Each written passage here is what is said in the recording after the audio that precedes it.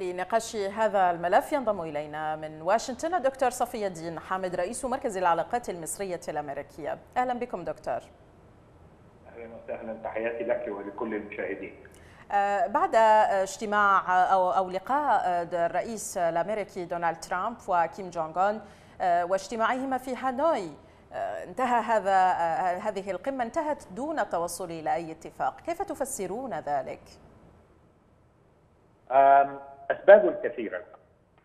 أحدهم يبدو أن الطرفين جاء إلى طاولة المفاوضات وهو يعني متبني الحد الأقصى من الطلبات بدل الحد الأدنى أو حتى الحد الوسطي المتصالح.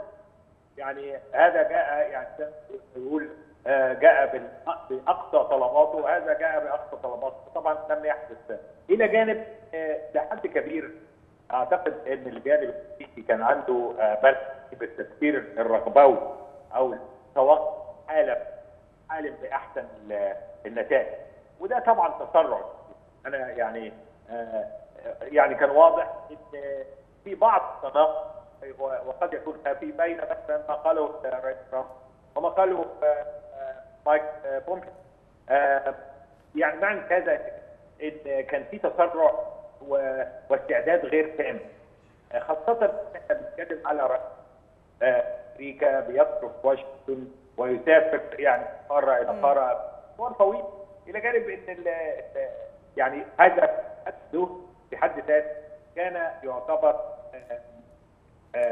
دكتور؟ دكتور صفي إلى أي مدى تظن أن كوريا الشمالية دخلت بحسن نية لهذه القمة فيما واجه الرئيس الأمريكي ذلك بعدم التنازل عن أي أي شيء؟ المسائل مش بالنيات المسائل طبعا المفاوض يدخل ومعه في ذهنه الحد الأدنى والحد الأقصى ويحاول أن يتفاوض أو يلعب ملعب ما بين باعتقادي يعني كل واحد كان داخل بالحد ولا الحقيقة السبب عند نورث كوريا الآن يعني كوريا الشمالية إنها تتنازل عن أهم إنجازاتها في القرن الماضي وهو الوصول لانها تصبح عضو في النادي النووي. فيعني فلذلك تصلبت كل الحصارات ضدنا يجب ان تزال فورا قبل ما يعني نتحرك. اذا كيف تفسر هذه التناقضات بين المسؤولين الأمريكيين والكوريين حول العقوبات تحديدا عن رفعها الكلي أو الجزئي؟ ما هو ده يدل على إن المفاوضات اللي دارت في السبع أشهر الأخيرة أو ست أشهر الأخيرة الحقيقة يا إما كان يعني لا نعلم ماذا وراء الابواب الاطلاق لكن يبدو انها لم تتطرق إلى إلى هذا بالطريقة الكافية بدليل إن يعني إنها تظهر يعني إحنا كنا بنتكلم اذا غداء وبعدها توقيع اعلان اتفاقيه وفجأة كل هذا يعني ينكسر أمام الحقيقة المؤلمة إن الرئيس ترامب يعني سافر الصف طويلة جدا عشان يقطع يعني دي. المفروض كانت دايفه على مستوى وزاره الخارجية أو على كثير وعلى مستوى يعني لا يأتي الرئيس إلا بيوقع فعلا ويحتفل ويعلن العالم وهذا يعني الحقيقة يعني شيء يؤخذ على ما على لهذا الخطاب ما هي توقعاتكم لما بعد قمة هانوي بين العلاقات الأمريكية والكورية؟ لا أنا أعتقد المفاوضات تستمر بس يعني محتاجين لأسلوب آخر.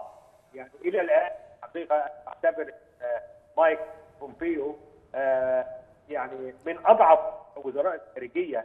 إلى الآن يعطي العالم إلا كلام معقول ووعود لكن ما فيش إنجازات. وده يعني لما قرر كيري اللي قبل كيري توفى في النهاية بسرية كاملة إلى عهد عقد معاهدة كامله مع بين العالم كله وايران كان هذا نجاح باهر هنا نجد إن في تسرع على اين يقف جون بولتون اللي هو تفكيره قوي آه، هو مصدر الأمن القومي آه، ده بالنسبة لي إلى الآن آه لكن الأيام.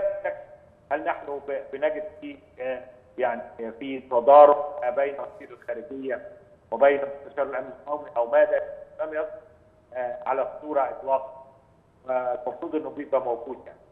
شكرا جزيلا لك رئيس مركز العلاقات المصرية الأمريكية دكتور صفي الدين حامد كنت معنا عبر الهاتف من واشنطن.